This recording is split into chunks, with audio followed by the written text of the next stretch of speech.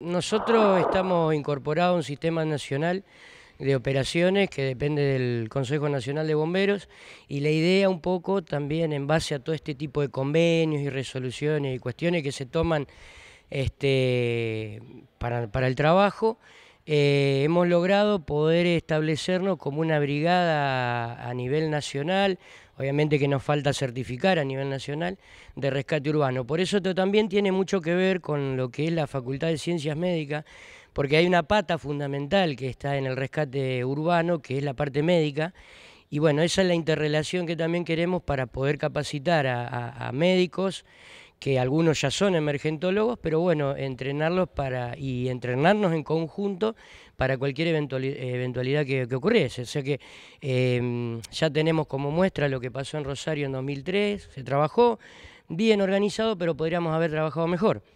Eh, y por ende también, como decía Norberto, nutrirnos de, la experiencia de ellos, más la nuestra, y poder lograr todo un, combo. Lo que es a nivel ah, internacional... Es... países limítrofes.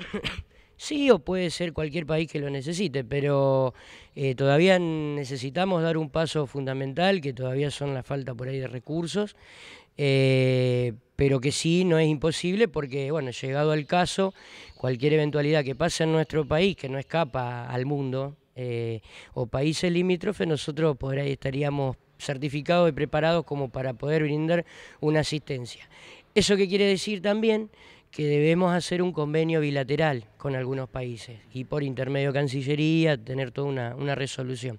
Ese convenio bilateral lo venimos hablando desde el año pasado con una brigada de rescate urbano de Chile, donde bueno, eh, haciendo siguiendo los pasos como venimos trabajando, eh, lentamente pero a paso firme, creo que lo vamos a lograr en un corto plazo y bueno, vamos a también eh, tener ese dispositivo, ese equipo de trabajo este, armado. Todo en catástrofe.